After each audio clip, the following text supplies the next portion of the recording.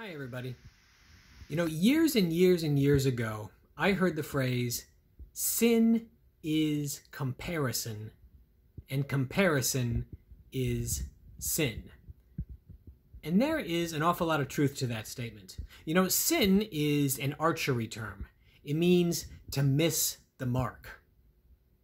You want to know a really easy way to miss a target? Is not to be looking at it when you shoot.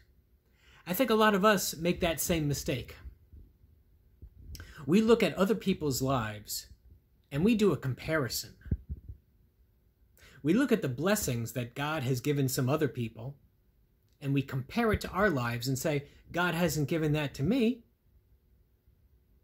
Or maybe we look at the challenges that have entered other people's lives and we say, I don't want God to do that to me.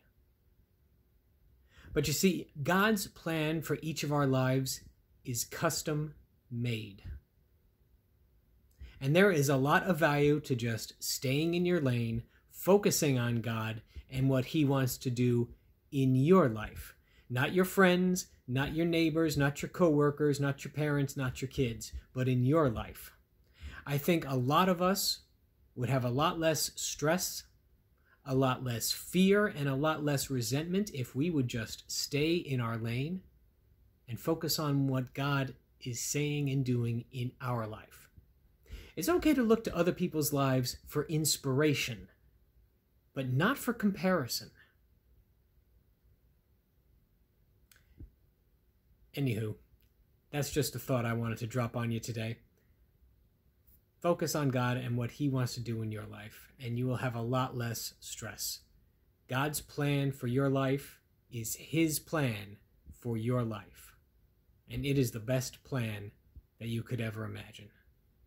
So don't worry about what God is doing in other people's lives. He's got a plan just for you. Thanks very much for tuning in. God bless you.